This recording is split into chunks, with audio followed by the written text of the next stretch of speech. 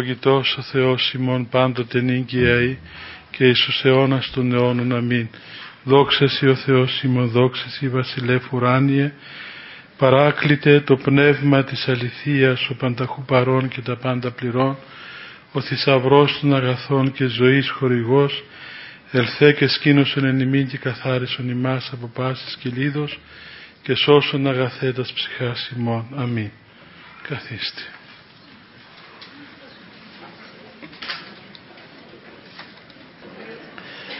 Λοιπόν, αυτή θα είναι και η τελευταία μας συνάντηση για, για τη φετινή αυτή περίοδο. Και πρώτα ο Θεός αν είμαστε καλά και ζούμε από τον Σεπτέμβριο που θα είναι η, θα τα πούμε από τώρα μην τα ξεχάσουμε μετά η πρώτη συνάντησή μας είναι 12 Σεπτεμβρίου έτσι, πρώτη Τετάρτη. Δεύτερη Τετάρτη του Σεπτεμβρίου, 12 Σεπτεμβρίου. Πολλά αργά. Θα πάρω άδεια, δεν θα, θα είμαι αδιούχος. Λοιπόν, ε, είμαστε όπως ξέρετε στη μελέτη της ευχής του Τρισαγίου Ύμνου της Θείας Λειτουργίας. Είπαμε την προηγούμενη φορά σε αυτή την ευχή για τον Θεό ο οποίος καταξίωσε εμάς τους ταπεινούς και ανάξιους δούλους Του και αυτήν την ώρα να σταθούμε ενώπιον της δόξης του Αγίου του Θυσιαστηρίου και να Του προσφέρουμε την οφειλωμένη προσκύνηση και δοξολογία. Στη συνέχεια λέγει ο ιερέας «Αυτός δέσποτα πρόσδεξε και εξ στόματος ημών των αμαρτωλών των τρισάγιων ύμνων και επίσκεψε εμάς εν τη Χριστότητή σου. Εσύ λοιπόν ο ίδιος δέσποτα, εσύ που όλα αυτά τα οποία προηγουμένως αναφέραμε, πρόσδεξε και από το στόμα μας εμάς τους αμαρτωλούς των τρισάγιων ύμνων και επίσκεψέ μας με την αγαθότητά σου. Ο τρισάγιος ύμνος είναι το Άγιος ο Θεός, Άγιος ισχυρός, Άγιος αθάνατος ελέησον ημάς. Λέγεται τρισάγιος επειδή αναφέρεται τρεις φορές το Άγιος, Άγιος, Άγιος, Άγιος ο Θεός, Άγιος ισχυρός, Άγιος αθάνατος. Εσύ λοιπόν δέσποτα λέει πρόσδεξε και από το στόμα μας εμάς τους αμαρτωλούς των τρισάγιων ύμνων και επίσκεψέ μας έλα να μας επισκεφθείς με την Χριστότητα, με την αγαθότητά σου. Είπαμε ότι γι' αυτό είναι σημαντικό πράγμα η Θεία Λειτουργία γιατί είμαστε όλοι μαζί και όλοι μαζί προσφέρουμε στο Θεό τον ύμνον και την δοξολογία και την λατρεία.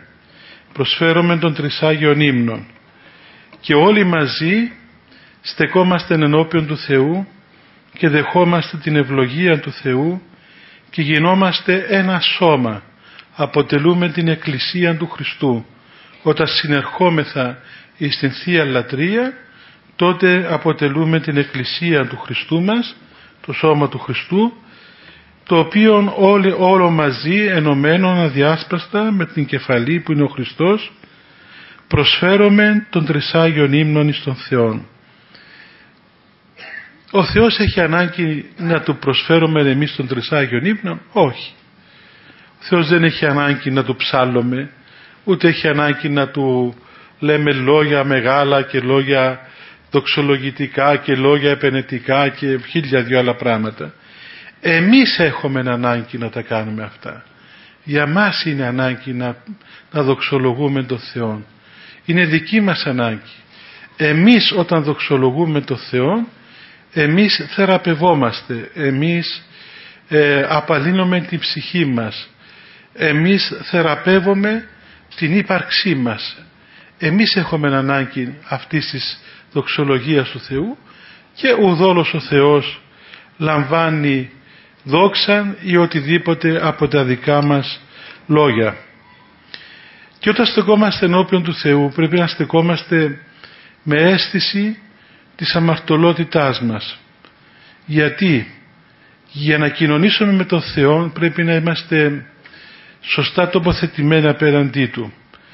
Πρέπει να είμαστε ταπεινοί, να μην έχουμε στην ψυχή μας αυτό το κλείσιμο που δημιουργεί ο εγωισμός, η έπαρση, η καινοδοξία. Αλλά όταν ο άνθρωπος στέκει ταπεινά ενώπιον του Θεού, ανοίγει η καρδιά του και δέχεται τη χάρη του Θεού και παρακαλούμε τον Θεό να μας επισκεφθεί, να, να έρθει κοντά μας σύμφωνα με την αγαθότητά Του. Όχι γιατί το αξίζομαι, αλλά γιατί Αυτός είναι αγαθός. Αυτός είναι αγαθός, Αυτός είναι φιλάνθρωπος, Αυτός είναι ελεήμων και για αυτόν τον λόγο τον παρακαλούμε να έρθει κοντά μας. Και έτσι όταν έρθει ο Θεός μέσα μας και όταν μας επισκεφθεί ο Θεός τότε ε, μπορούμε να αξιοποιήσουμε αυτή την επίσκεψη του Θεού όταν είμαστε σωστά τοποθετημένοι απέναντί Του.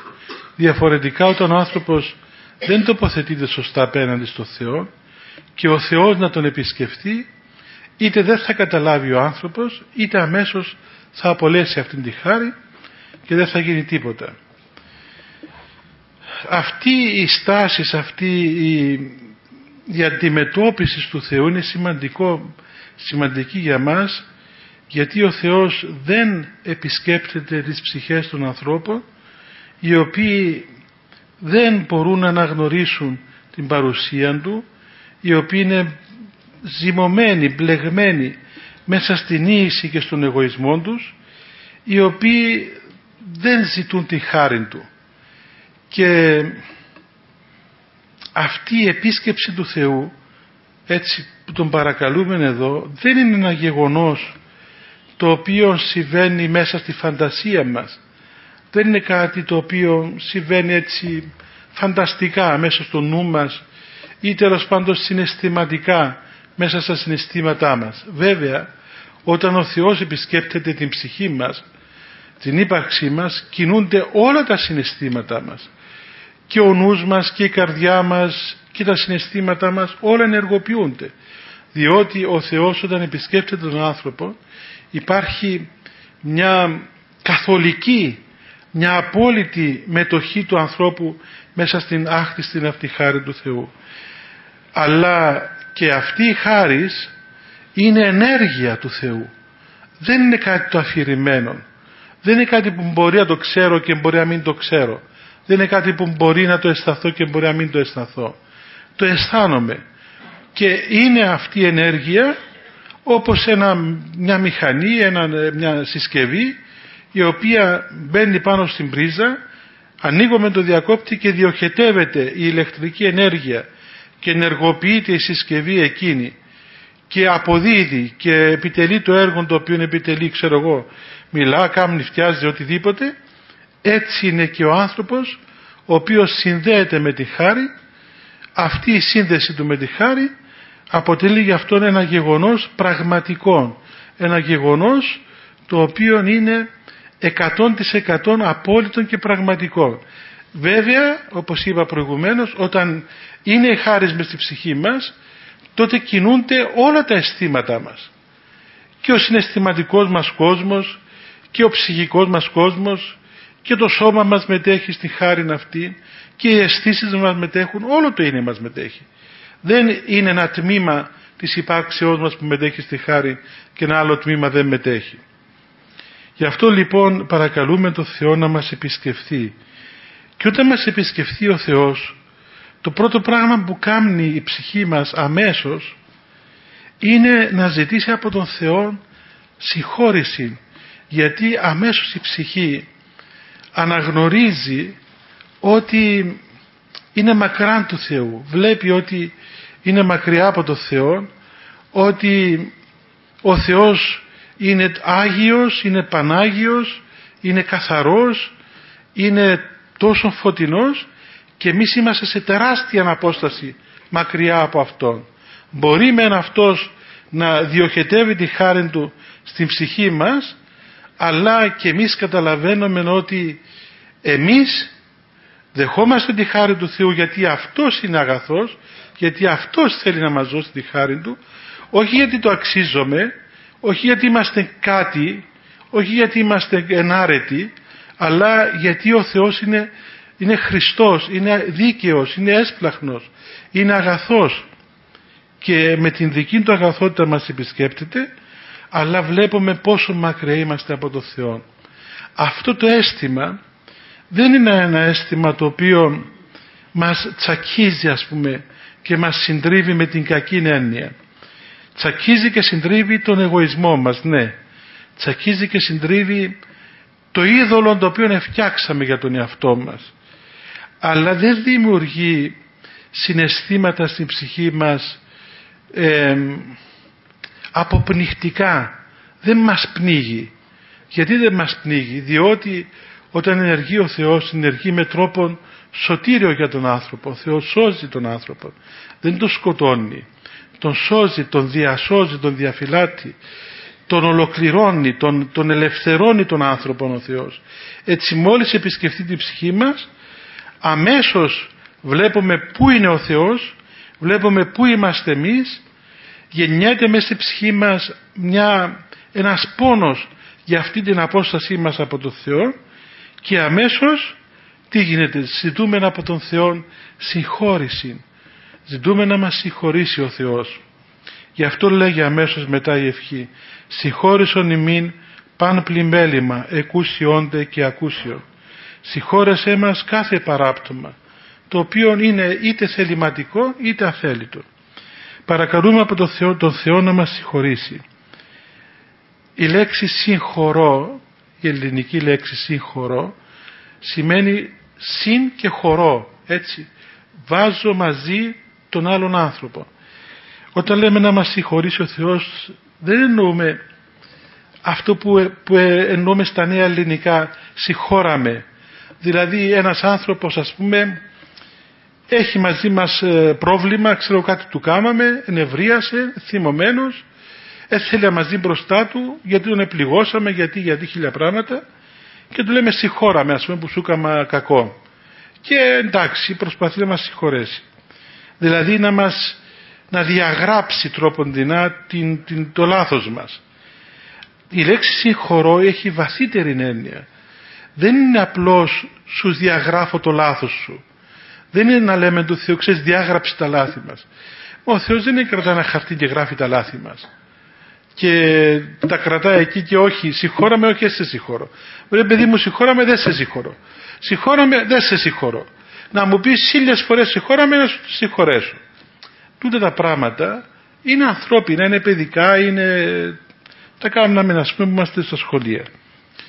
Όταν λες του Θεού συγχώρησέ με, Θεέ μου συγχώρησέ με, δεν είναι ότι ο Θεός σου κρατά κακία ή ότι ο Θεός σου κρατά ξέρω εγώ μέσα στην ύπαρξή του δεδομένα εναντίον σου.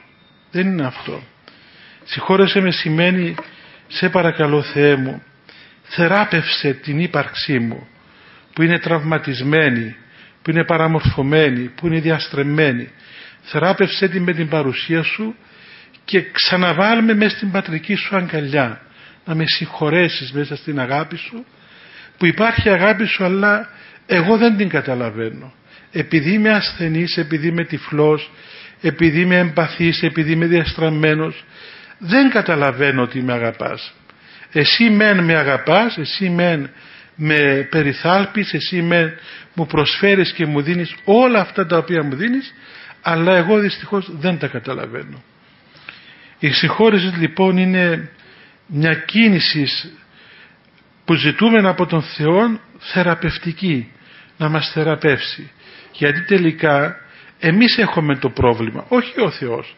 Όταν λέω το Θεό συγχώραμε και το εννοώ με την έννοια που το εννοούμε σήμερα σαν ο Θεός έχει πρόβλημα εθιμωμένος και λέει να να κάνουμε θύμωση τώρα πρέπει να τον πείσουμε να μας να ξεθυμώσει, να τον περάσει και όπως κάνω πιάνεις έναν άνθρωπο και λες τι να το κάνουμε τώρα να του περάσουν τα νεύρα του πάω να του αγοράσω ξέρω ένα ωραίο παγωτό.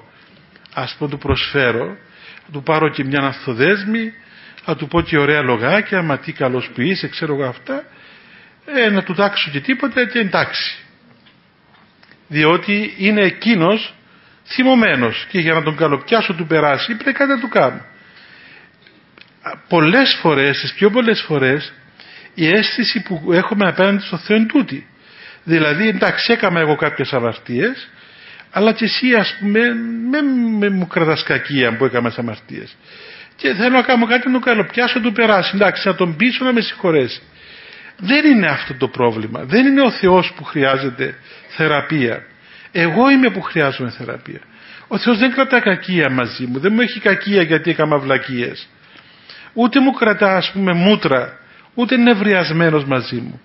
Αλλά οι κακίες μου, οι διαστροφές μου, τα πάθη μου, οι αρρώσκες μου είναι αυτές οι οποίες σκοτώνουν τη ψυχή μου. Η αμαρτία είναι σκοτισμός της ψυχής μου. Είναι δηλητήριο το οποίο θα σκοτώσει εμένα. Δεν σκοτώνει το Θεό, εμένα σκοτώνει. Άρα όταν λέω του Θεού συγχώραμε εννοώ εσύ που είσαι γιατρός καθάρισε με το δηλητήριο όρο να ανοίξουν τα μάτια μου να ανοίξει η καρδιά μου να ζωογονηθώ να ζωοποιηθώ, να ζωντανέψω που είμαι τιμοθάνατος και χάνομαι. Παρακαλώ λοιπόν το Θεό να με συγχωρήσει και να μας συγχωρήσει όλοι μαζί γιατί αισθανόμαστε αυτήν την, την αίσθηση της αγιότητας του Θεού και να μας συγχωρήσει παν πλημέλημα κάθε παράπτωμα κάθε παράπτωμα είναι τραγικός ο άνθρωπος να φτάνει σε σημείο που να μην βλέπει λάθη στον εαυτό του έτσι δηλαδή τα παραπτώματά μας να μην τα βλέπουμε και να μην αισθανόμαστε αυτήν την τραυματισμένη και εμπαθήν ύπαρξή μας. Υπάρχουν άνθρωποι ανάμεσά μας που όταν τους ρωτήσουμε ξέρω εγώ έχεις καμιά αμαρτία όχι. Δεν έχω τίποτε. Πολλές φορές το ακούμε αυτό το πράγμα. Πολλές φορές. Ε, δεν αισθάνομαι ότι έκανα τίποτα. Δεν αισθάνομαι ότι έχω τίποτε. Αυτό το πράγμα είναι μεγάλη, μεγάλη έτσι, μεγάλος ύπνος. Μεγάλος ύπνος, σαν να κοιμάσαι με αναισθητικό φάρμακο ας πούμε και δεν ξυπνάς με τίποτε. Τουλάχιστον να ξέρεις κάποια πράγματα, να ξέρεις τα λάθη σου, να ξέρεις αυτά τα οποία κάμνεις. Βέβαια είναι γεγονός ότι ο άνθρωπος για να φτάσει σε αίσθηση μετανοίας δεν είναι εύκολο πράγμα. Λέμε πολλές φορές να μετανοήσουμε, δηλαδή να μεταμεληθούμε. Ξέρετε πότε πραγματικά μετανιώνουμε, όταν δούμε το Θεό, τότε μετανιώνουμε. Πριν από αυτό η μετάνοιά μας είναι ανθρώπινη, έχει δεδομένα και στοιχεία ανθρώπινα. Δεν είναι υγιής αυτή η υγιής, αλλά έστω μας βοηθά. Πώς θα μετανοήσω όταν δεν ξέρω δεν έχω δει ας πούμε ποτέ μου την αγιότητα του Θεού; Εντάξει καταλαβαίνω ότι έκανα λάθη απέναντι στους ανθρώπους μου. Γι' αυτό βλέπετε και πολλές φορές να έρχονται άνθρωποι να εξομολογηθούν και λένε τις αμαρτίες τους λένε έκανα λάθη ξέρω εγώ μισώ τον συνάνθρωπό μου κατηγορώ, κουτσομπολεύω, λέγω ψέματα πολύ πολύ πολύ σπανιότατα να σου πει ο άλλος άνθρωπος δεν αγαπώ τον Θεό ή τραυματίζω τη σχέση μου με τον Θεό Πατέρα μου γιατί του είναι ένα πραμάγνωστο Θεός βλέπει τον αδερφό του, βλέπει τον συνάνθρωπο του, βλέπει ξέρω εγώ όλα αυτά που είναι γύρω του. Ενώ ο άνθρωπος του Θεού όταν έρθει να εξομολογηθεί το πρώτο πράγμα θα σου πει ότι επλήγωσα τον Θεό Επλήγωσα δηλαδή τη σχέση μου με τον Θεό, την ψυχή μου βασικά. Εσκότωσα την ψυχή μου. Είμαι φωνιάς της ψυχής μου. Μπορεί να μην σκότωσα άνθρωπο, αλλά σκότωσα την ψυχή μου και σκότωσα και ψυχές άλλων ανθρώπων με τις αμαρτίες μου και με τα κακά μου παραδείγματα και με τους σκανδαλισμούς μου που αυτό είναι πολύ έντονο και πολύ, ε, πολύ δυνατό, δυνατή ας πούμε πτώση του ανθρώπου. Αλλά όλα αυτά για να, για να γίνουν μέσα στην ψυχή μας πρέπει να δούμε αυτήν την, την αγιότητα του Θεού. Και αν δεν το δούμε με τη χάρη του Αγίου Πνεύματος τουλάχιστον ας κάνουμε τέτοιες πνευματικές ασκήσεις στον εαυτό μας. Όταν ας πούμε διαθέσουμε λίγο χρόνο και αναλογιστούμε ακόμα και μέσα στην εκκλησία που πάμε λέμε πολλές φορές μα πάω πόση ώρα η λειτουργία θα τελειώνει ξέρω εγώ τότε η λειτουργία σου προσφέρει χρόνο μια-δυο ώρες στον κόσμο γιατί στο μοναχισμό είναι πολύ περισσότερες οι ώρες είναι με τα δεδομένα τα σύγχρονα του κόσμου είναι ο μόνος χρόνος που έχεις να κάτσεις πάνω σε μια καρέκλα και να σκεφτείς τον εαυτό σου, τη ψυχή σου. Ακόμα και αν δεν μπορείς να προσευχηθείς. Ακόμα και αν δεν καταλαβαίνεις τι λέει ο ψάρτης, ο ιερέας ή τα τελούμενα δεν τα καταλαβαίνεις. Στράφου μέσα σου, μέσα στην ψυχή σου. Και κάμε έτσι μια ανασκόπηση της ύπαρξής σου. Και, και κάμε μια, μια έρευνα της ψυχής σου να δεις τι γίνεται με σένα. Τι γίνεται πού πάω πώς είμαι. Τι γίνεται μέσα στην ύπαρξή μου. Είναι μια ευκαιρία που δεν την έχουμε τουλάχιστον με τα σύγχρονα δεδομένα τα κοσμικά δεν την έχουμε σε άλλους χρόνους τα άλλα όλα είναι γεμάτα πού να βρεις χρόνο; Και μια προσευχή που θα κάνει κανείς στο σπίτι του λες εντάξει προσεύχομαι το βράδυ μα θα πας 5-10 λεπτά θα σου χτυπούν τα μωρά την πόρτα θα ξέρεις περιμένει με γυναίκα μου να κάτσουμε μαζί να μιλήσουμε άντε πέντε λεπτά, δέκα λεπτά να πω έναν απόδειπνο, να πω ξέρω εγώ δυο-τρεις ευχές και τέλειωσε η υπόθεση. Δεν έχω χρόνο να αδολεσχήσω, να, να μπω μέσα στην ύπαρξή μου. Ενώ ο χρόνος της Θεία Λειτουργίας, ο χρόνος των ακολουθιών της Εκκλησίας και η ατμόσφαιρα της Εκκλησίας και ε, η όλη ας πούμε οι θέσεις που υπάρχει στην Εκκλησία σε βοηθά σε βοηθά. Σε βοηθά να μπεις μέσα στην καρδιά σου. Να μπεις μέσα στην καρδιά σου και εκεί να κάνεις ανασκόπηση του εαυτού σου, του παρελθόντος σου, του παρόντος σου, του μέλλοντός σου, να αναλογιστείς την κρίση του Θεού, να αναλογιστείς την πορεία σου μέσα στον χρόνο, να αναλογιστείς όλα αυτά τα οποία έχεις μπροστά σου και να στενάξεις. Να πεις Θεέ μου συγχώρα με λέησε με Κύριε Ιησού Χριστέ λέησό με ακόμα μπορεί να έχεις και χρόνο να κλάψεις. Έτσι σου δίδει χρόνο. Γι' αυτό μη χάνετε τις ακολουθίες της Εκκλησίας γιατί είναι ο μόνος χώρος και ο μόνος χρόνος που μας δίδεται για να κάνουμε κάτι μέσα στον εαυτό μας να σκάψουμε λίγο μέσα στον εαυτό μας. Δεν έχουμε άλλο χρόνο και χώρο. Μέσα στα δεδομένα τα οποία ζούμε. Αν είμαστε βέβαια στην έρημο θα είχαμε. Αλλά στον κόσμο δεν έχουμε. Παρακαλούμε το Θεό να μας συγχωρήσει κάθε πλημέλημα κάθε παράπτωμα εκούσιον και ακούσιο θεληματικών ή αθέλητων θα μου πεις τώρα ότι έλεγαν και οι αρχαίλληνες ουδής εκόν αμαρτάνει κανένας δεν αμαρτάνει με θέλησή του κατά πράγματι η ψυχή μας δεν θέλει να αμαρτάνει δεν θέλει να αμαρτάνει. Γιατί είναι πλασμένη από τον Θεό, είναι κατ' εικόνα Θεού πλασμένη και δεν θέλει την αμαρτία. Όμως μετά την πτώση διασπάστηκαν όλα αυτά τα χαρίσματα που μας έδωσε ο Θεός. Και η ψυχή μας ε, νεκατώθηκε μαζί με τα πάθη μας. Και πολλές φορές ενώ διανοητικά μπορεί να λέω δεν θέλω να αμαρτήσω βλέπουμε την καρδιά μας ας πούμε να πηγαίνει και να χμαλωτίζει όλο το είναι μας. Και λέμε θέλω θέλω δεν θέλω αμαρτάνω μπορεί να μην θέλω αλλά και θέλω αφού το κάνω γι' αυτό το αμάρτημα το εκούσιον ή ακούσιον είναι ακόμα, σημαίνει ακόμα και αυτά τα οποία καταλαβαίνουμε και αυτά τα οποία δεν καταλαβαίνουμε γιατί υπάρχουν πολλά πράγματα που κάνουμε που δεν τα καταλαβαίνουμε ότι βλάφτουν την ψυχή μας ότι αδικούν την ψυχή μας. Μπορεί να έχουμε και ας πούμε κακές συνήθειες όπως είναι παραδείγματος χάρη η ηρωνία. Η ηρωνία είναι πολύ κακή συνήθεια. Πάρα πολύ κακή συνήθεια. Και είναι γέννημα του εγωισμού μας. Και γέννημα και κύμα πολλών συμπλεγμάτων. Κόμπλεξ που λέμε, έτσι, συμπλέγματα στη ψυχή μας και γέννημα το οποίο μαρτυρεί επίθεση κατά του άλλου ανθρώπου. Άλλο το να πεις ένα αστείο που και αυτό είναι επικίνδυνο αλλά η ηρωνία είναι κάτι το οποίο είναι πολύ πολύ άσχημο πράγμα.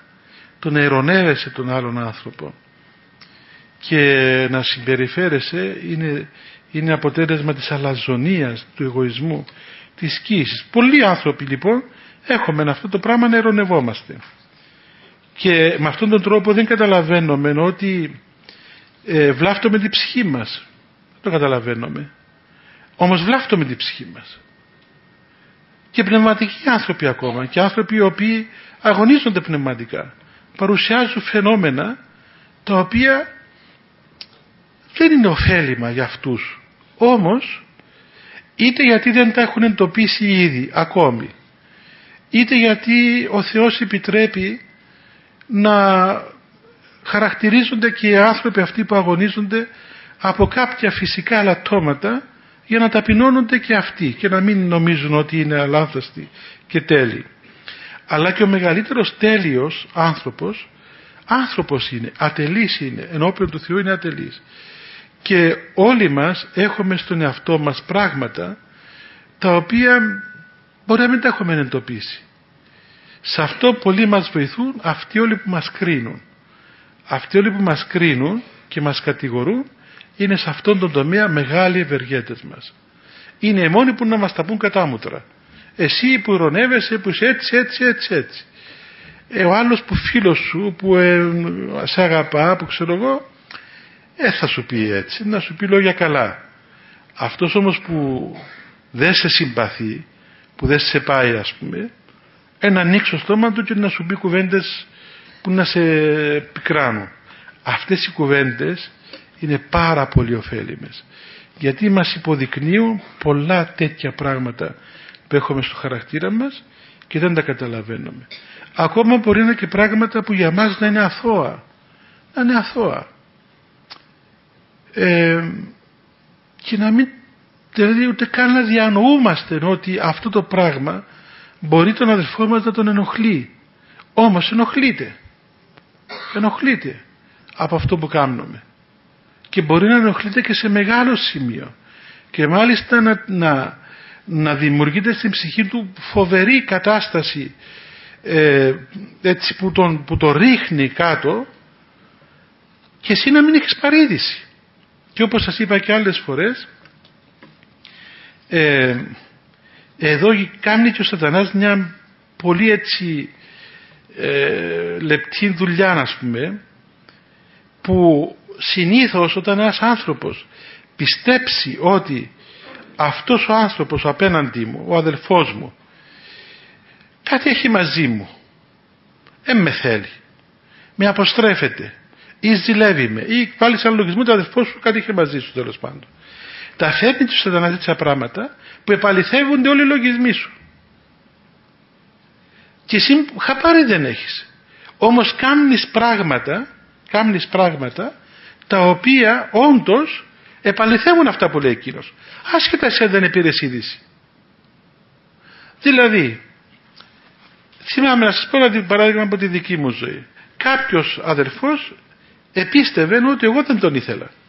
Έτσι δεν τον ήθελα σας το είπα ξανά αυτό θα το ξαναπώ το βρήκα μια νύχτα μες στην εκκλησία στενοχωρεμένο, κλαμμένο τι εσείς; Δεν μπορώ άλλον, κουράστηκα, συνέχεια με αποστρέφεσαι, δεν με θέλεις, ε, ξέρω εγώ, δεν με λογαριάζεις, τέλος πάντων δεν με θέλεις.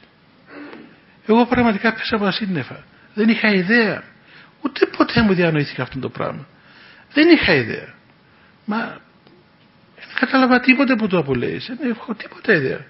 Πώς δεν έχεις ιδέα; Και μου περιέγραψε δέκα παραδείγματα. Ήταν και τα δέκα αληθινά. Και τα δέκα αληθινά. Αλλά δεν ήταν έτσι όπως τα ερμήνευε εκείνος. Εγώ απλώς τα έκαμνα είτε διότι τα σκεφτόμουν είτε διότι έτσι τύχαινε.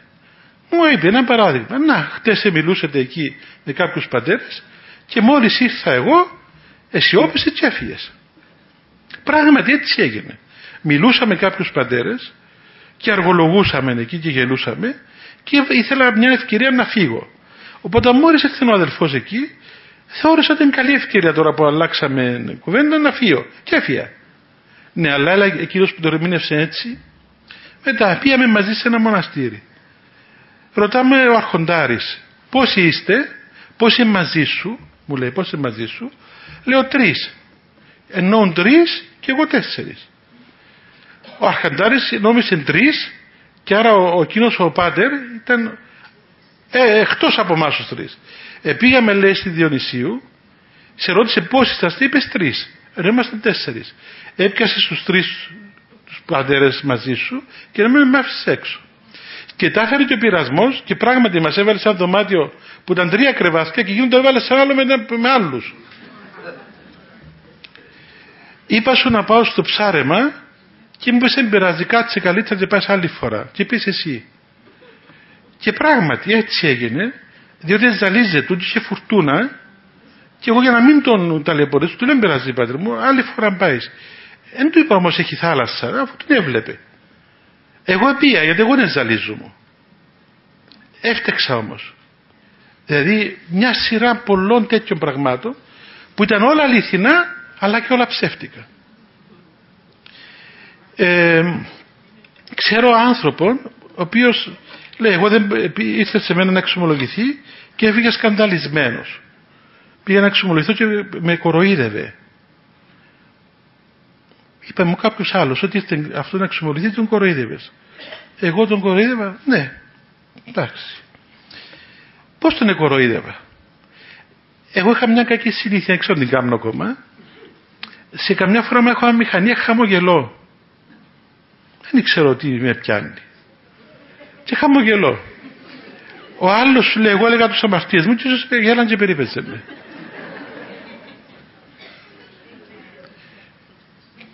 Μια άλλη κυρία ήρθε και είπε ότι εξαιτίας του έγινε η Χοβίνα.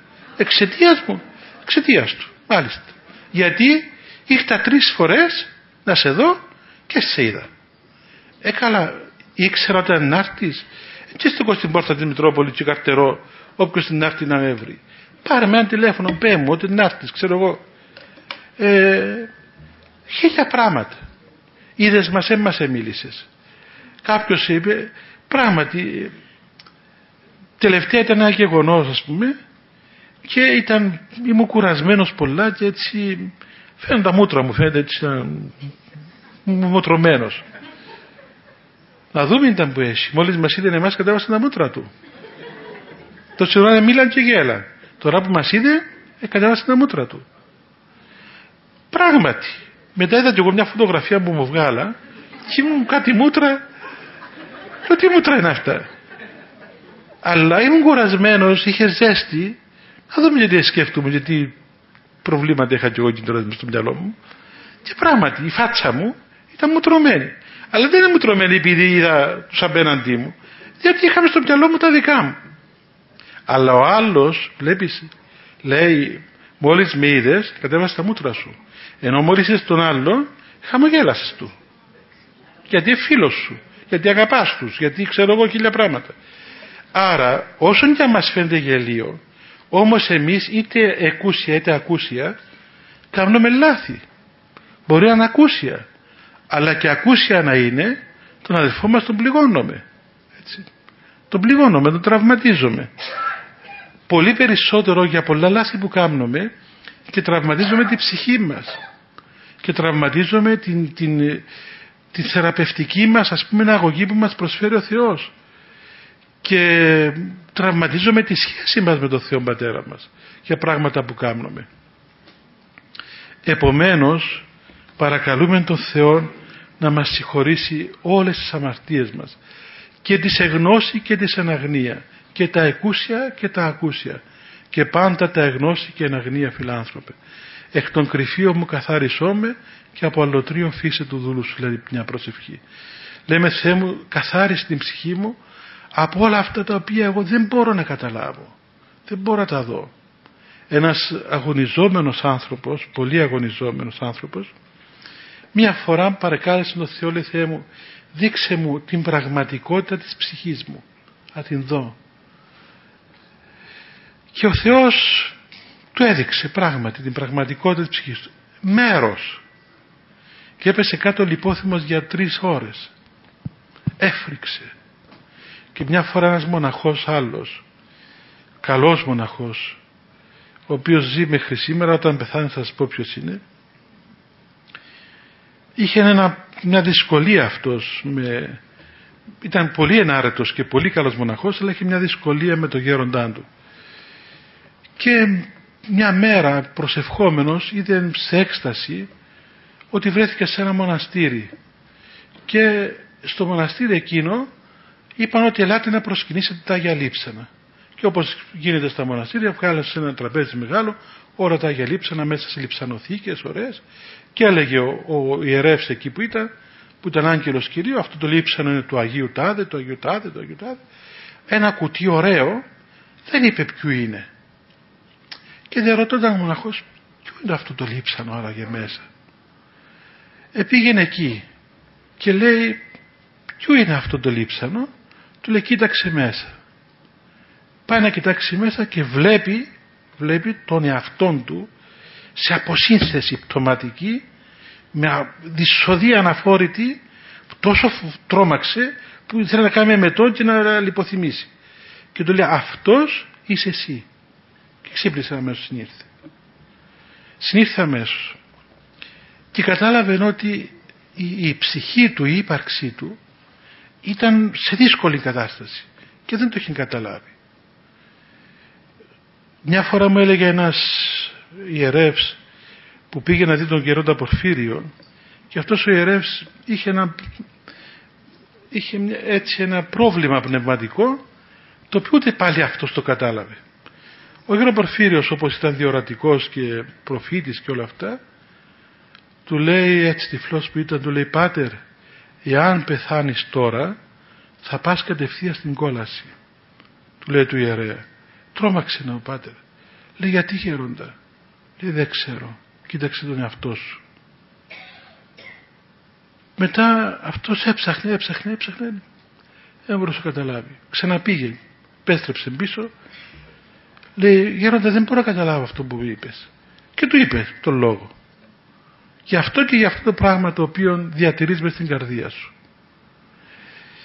Δηλαδή μπορεί πράγματι η ψυχή μας να είναι νεκρή, να αποσυνθέσει σε δυσοδείαν αφόρητη και εμείς να μην το καταλαβαίνουμε. Γι' αυτό παρακαλούμε τον Θεό, εκείνος ο οποίος βλέπει την ψυχή μας, την ύπαρξή μας, να μας θεραπεύσει, να μας συγχωρήσει όλα αυτά τα εκούσια και τα ακούσια. Όλα αυτά τα οποία ξέρουμε και όλα αυτά που δεν ξέρουμε. Όλα αυτά τα οποία κάνουμε θεληματικά και όλα αυτά τα οποία κάνουμε μέσα στη ζάλη των παθών μας και ούτε ξέρουμε τι μας γίνεται. Και τελικά ποιος είναι αυτός που ξέρει την ψυχή μας, μόνο ο Θεός. Γι' αυτό τον παρακαλούμε αυτό που είναι ιατρός να μας θεραπεύσει και να μας δώσει αυτή την ίαση της ψυχής και της ύπαρξής μας ολόκληρης. Να μην πάμε στα επόμενα γιατί είναι μια άλλη ενότητα. Εδώ να σταματήσουμε, να, αν θέλετε κάτι να ρωτήσετε, ευχαρίστως έχουμε μερικά λεπτά αλλά έχω κάτι να σας ανακοινώσω εδώ που με δόθη.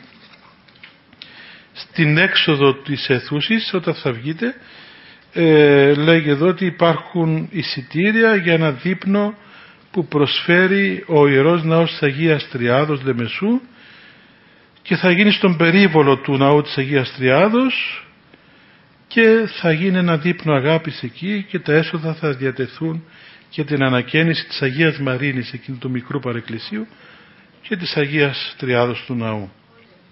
Όποιοι θέλετε και όσοι μπορείτε αυτό θα γίνει 2 ε, Ιουλίου 2 Ιουλίου και ώρα 7 και 30 ε, με τη σχετική ομιλία και όλα τα συνήθη που γίνονται στο χώρο εκείνο. Θέλετε κάτι να ρωτήσετε; Ναι. Μισό λεπτό να σας φέρει ο Δημητράκης του. Ναι. Μ' ακούτε; Ναι. Ε, πιστεύω ότι, και δεν ξέρω αν κάνω λάθος, αυτό θα μου το πείτε εσείς, ε, πιστεύω ότι ο Θεός διαφορετικά κρίνει και θα κρίνει τους μοναχούς, τον μοναχισμό και διαφορετικά ε, τον κόσμο κάτω. Ε, γιατί πιστεύω ότι αυτά ίσως, αυτά που κάνετε εσείς δεν είμαστε σε θέση να κάνουμε, πιστεύω, ε, σίγουρα δεν είμαστε σε θέση ε, να κάνουμε αυτά που κάνετε, άρα δεν μπορεί ο Θεός να μας κρίνει σύμφωνα με το ότι κρίνει εσάς. Εύχομαι. Εύχομαι, αλλά δεν κάνουμε, εγώ τουλάχιστον δεν κάνω τίποτε. Ε, υπάρχουν μοναχοί που κάνουν έργα μεγάλα και ασκητικά. Ε, εγώ δεν είμαι μοναχός, είμαι κοσμικός και χειρότερος ακόμα, αλλά το θέμα δεν είναι πώς θα μας κρίνει ο Θεός, το θέμα είναι τι κάνουμε εμείς. Εμείς τι κάνουμε, ο Θεός είναι πανάγαθος. Εμείς καταστρέφουμε την ύπαρξή μας και την υπόστασή μας. Ναι, Ρίτα. Δικηγορίστηκε ερώτηση, Ρίτα.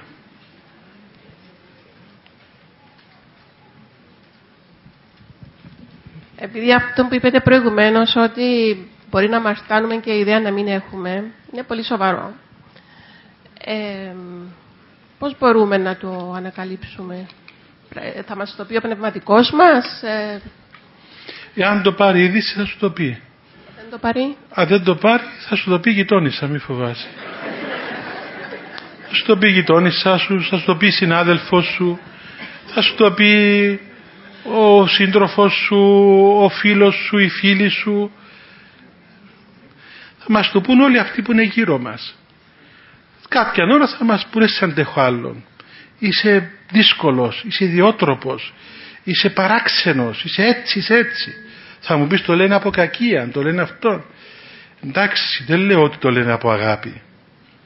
Αλλά όταν μας λένε τούτα όλα που μας λένε, και εμείς πρέπει να τα λίγο να τα εξετάζουμε. Άραγε μήπως είναι αλήθεια αυτά που λένε. Μήπως είναι αυτή η εικόνα που βγάζω προς τα έξω. Μπορεί η καρδιά μου να μην το έχει μέσα. Αλλά όπως είπα προηγουμένως, άλλο τι λέει η καρδιά μου, άλλο τι λένε τα μούτρα μου. Ο άλλος άνθρωπος, τα μούτρα μου που να δει, δεν είναι η καρδιά μου. Δεν είναι καρδιογνώστης ο άλλος να με δει μέσα στην καρδιά μου. Μπορεί η καρδιά μου να περιβόλει και να έχω αγάπη πολύ για τον άλλο, δεν έχω τίποτα μέσα μου. Αλλά βγάζω μούτρα απ' έξω τα οποία είναι αποθητικά. Και λες, αμά ρε παιδί μου, ας πούμε. Άλλαξε τον τη φάτσα σου, ας πούμε. Άλλαξε η φάτσα σου. Τι μούτρα έντοτε τα πράγματα. Ο γέροντας μας, ο μακαριστός γέροντας μας, άμα έβλεπε κανένα, έλεγε, τι μούτρα είναι μωρέ αυτά, άλλαξε τα μούτρα σου. ναι, εκεί κατευθείαν δεν είχες να γλιτώσεις. Ε, ο άλλος δεν βλέπει την καρδιά μας, αυτό το θυμόμαστε. Πολλοί άνθρωποι λένε, μα δεν έχω τίποτε, εν της ώρας περνά μου. Εν της ώρας περνά σου, αλλά ο άλλος δεν είναι της ώρας. Ο άλλον έλουσες τον, έλουσες τον και τον έκαμες από πάνω μέχρι κάτω, ε, κάτσε τώρα εσύ πείσε τον άλλον ότι Μα τι του είπα, του είπα μια κουβέντα. Έτσι είναι η κουβέντα, ήταν αρκετή να τον διαλύσει τον άλλον άνθρωπο το ύφος σου, τα, τα μούτρα σου, τα λόγια σου, οι κινήσεις σου, χίλια πράγματα μπορούν να διαλύσουν τον άλλον άνθρωπο. Γι' αυτό μας βοηθούν αυτοί που μας κρίνουν. Μπορεί ήδη να μην βοηθούνται. Μπορεί να μην βοηθούνται ήδη όταν κρίνουν τον άλλο. Αλλά εμάς όσοι μας κρίνουν μας βοηθούν. Τουλάχιστον εγώ αισθάνομαι μεγάλη ωφέλεια από αυτούς που με κρίνουν. Αν κρίνει λαθασμένα δεν πειράζει. Κάτι, κάτι θα βγει και δεν είναι τέλεια παλαβός. Κάτι θα είδε κι ο άλλος. Ε, εντάξει. Νομίζω πάντα μας βοηθούν. Κοίταξε και λαθασμένα να κρίνει τουλάχιστον αντιλαμβάνεσαι ότι εντάξει δεν είναι έτσι όπως τα λέει αλλά αυτή την εικόνα ίσπραξε από μένα. Αυτή την εικόνα ίσπραξε από μένα. Άρα του έδωσα αυτή την εντύπωση. Ε, τώρα αν είναι τελείως παράφρον κάποιος εντάξει αλλά και πάλι οι κρίσεις μας βοηθούν δεν μας, δεν μας χαλούν μας βοηθούν ναι Ε, ήθελα να ρωτήσω πάνω στο θέμα, ο, όταν ο Θεός θα μας κρίνει, ε, δεν θα μας κρίνει, εγώ πιστεύω θα μας κρίνει για τις πράξεις μας και όχι αν γεννήθηκα μου αμεθανή, όμως ήμουν καλός άνθρωπος, θα λέμε μου αμεθανή, θα τιμωρηθώ αν είμαι βουδιστής πάλι. Μάλλον και τις πράξεις των κάθε άνθρωπο, αυτή είναι η απορία μου. Κοιτάξτε να δείτε κάτι. Για να έχουμε σωστή ε, έτσι, αντιμετώπιση και αντίληψη των πραγμάτων πρέπει να δούμε τι είναι η κρίση του Θεού. Ε, δηλαδή η κρίση του Θεού έχουμε λαθασμένη αντίποση.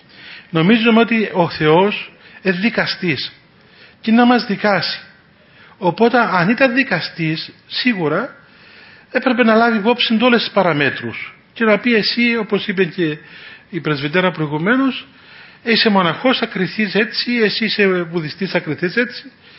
Η κρίση του Θεού όμως δεν είναι δικαστήριο. Τι είναι η κρίση του Θεού; Τι είναι η κρίση του Θεού; Ο Θεός θα εμφανίσει τον εαυτό του σε όλον τον κόσμο.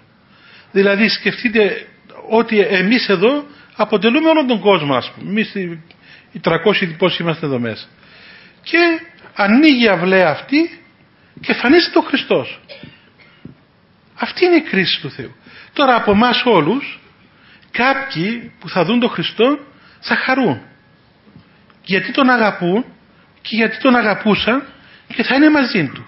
Κάποιοι από εμάς θα νευριάσουν γιατί δεν το θέλουν. Γιατί τα έργα τους και η ζωή τους δεν τον ήθελαν. Κάποιοι θα αισθανθούν ότι δεν έκαναν κάτι για να τον πλησιάσουν. Λοιπόν, ο Θεός δεν θα κρίνει κανένα. Δεν νομίζω ότι ο Θεός θα αρχίσει να δει, έλα εδώ, Γεωργία, την τάδε μέρα έκαμες έτσι. Όχι είναι κάμα, όχι έκαμες. Την άλλη μέρα έκαμες έτσι. Σιωπή και έκαμες το. Άντε, γλύωρα στην κόλαση. Άντε, έλα εσύ επόμενη, Ελένη. Την τάδε μέρα έκαμες έτσι. Δεν το κάμα, στην κόλαση. Ή παρακάτω. Δεν είναι έτσι, Χρήστο του Θεού. Τίποτα δεν θα είναι από όλα αυτά. Ο Θεός θα εμφανίσει τον εαυτό του στον κόσμο. Αυτό λέμε Δευτέρα παρουσία του Χριστού. Θα εμφανίσει τον εαυτό του στον κόσμο. Όλοι θα δούμε τον, Θεό, τον Χριστό. Όλοι οι πάντες. Μουσουλμάνοι, Βουδιστές, Εβραίοι, ε, Έλληνες, Τούρκοι, Χριστιανοί, Ορθόδοξοι, Ρωμαιοκαθολικοί, οι πάντες. Όσοι από εμάς έχουμε γίνει φίλοι του Χριστού και εκεί του Θεού, αυτή η χάρις την οποία δίδει ο Χριστός στον κόσμο γίνεται για αυτούς όλους τους ανθρώπους που τον αγαπούσαν φως αιώνιων και ζωή αιώνιων. Για όσους δεν τον αγάπησαν και δεν τον θέλουν, οι ίδιοι αυτοί, όχι ο Χριστός, εκείνοι οι ίδιοι θα μεταβάλουν τη χάρη του Χριστού εις πήρε αιώνιο. Ας σου πω ένα παράδειγμα. Είμαστε μια ώρα και κοινωνούμε το σώμα και το αίμα του Χριστού. Όλοι κοινωνούμε. Άλλος κοινωνά και φωτίζεται, άλλος κοινωνά και καίγεται δεν τον καίει η κοινωνία, το καίγεται ο ίδιος για τις αμαρτίες του. Δεν, δεν είναι ο Θεός ο οποίος τον καίει, αλλά οι αμαρτίες του είναι που, που μεταβάλλουν αυτή την ενέργεια του Θεού από φωτιστική σε καυστική. Άρα που λέμε πώς θα κρίνει ο Θεός τους μουσουλμάνους. Μα δεν θα ανοίξει διάλογο ο Θεός με τον καθένα και να έχουμε εκεί επιχειρήματα και ο Θεός θα έχει δικηγόρους και θα βγάζει αποφάσεις και θα στο πει και θα μας πετάει είτε από εδώ είτε από εκεί. Ο Θεός θα εμφανίσει αυτό του στον κόσμο όλο. Όσοι είναι φίλοι του Θεού και εκεί του Θεού θα είναι μαζί του αιώνια. Όμως γι' αυτό χρειάζεται το βάπτισμα. Γι' αυτό ο Χριστός είπε στο Ευαγγέλιο ο πιστεύσας και βαπτιστής σωθήσετε. Διότι το Άγιο Βάπτισμα είναι αυτό το οποίο ανακαινίζει τον άνθρωπο και τον ανα, ανανεώνει και τον κάνει τέκνο της Βασιλείας του Χριστού. Γι' αυτό είναι απαραίτητο πράγμα το βάφτισμα. Γι' αυτό έχουμε καθήκον η Εκκλησία να πορευτεί σε όλα τα έθνη, να διδάξει το Ευαγγέλιο και να βαπτίσει τους ανθρώπους στο όνομα του Πατρός και του Υιού και του Αγίου Πνεύματος. Ναι. Ναι. Εκείνο που ήθελα εγώ να τώρα, στην Τουρκία δεν εγνώρισαν καθόλου τον χριστιανισμό. Όμω έχει καλούς ανθρώπους. Βεβαίως έχει καλούς ανθρώπους. Ναι, αυτοί οι άνθρωποι όμως δεν θα κρυθούν γιατί δεν έγινε κοινά χριστιανοί. Θα κρυθούν για τι καλέ τους πράξεις. Ε, αυτό θέλω να ρωτήσω. Κοιτάξτε, ο Θεός είναι δίκαιος. Κανένας δεν θα δικηθεί από τον Θεό. Κανένας άνθρωπος δεν θα δικηθεί από τον Θεό. Οπότε μην ανησυχείτε. Ο Θεός ως δίκαιος και πατέρας όλων των ανθρώπων, ας το πω έτσι με απλά λόγια, θα κρίνει με δικαιοσύνη και αγάπη τον κόσμο όλο. Αλλά η κρίση του Θεού είναι όπως σας την έχω περιγράψει. Λοιπόν, εντάξει, να κάνουμε την προσευχή μας, να σας ευχηθώ καλό καλοκαίρι, καλές διακοπές, να κάτσετε έναν τόπο να μην πάτε πού ποτέ, είναι οικονομική κρίση. Ε, εμείς αρχίζουμε την πορεία των κατασκηνώσεων. Εύχομαι να πάνε όλα καλά με τη βοήθεια του Θεού, να σκεπάσει ο Θεός και την Κύπρο, να μην έχουμε περιπέτειες όπως συνήθως κάθε καλοκαίρι. Χριστέ το φως των αληθινών, το φωτίζουν και αγιάζουν πάντα άνθρωπον ερχόμενων εις τον κόσμο. Σημειωθεί το εφημάς το φως του προσώπου σου. Είναι ένα αυτό ψώμεθα φως το απρόσιτο και κατεύθυνον τα διαβήματα ημών προς εργασία των εντολών σου πρεσβείες της Παναχράντου σου Μητρός και πάντως των Αγίων Αμήν. Διευχών των Αγίων Πατέρων ημών, Κύριε Σου Χριστέ ο Θεός ελέησον ημάς αμήν. Κυριάκο, είναι, πότε θα είναι γίνει αυτή η παρουσίαση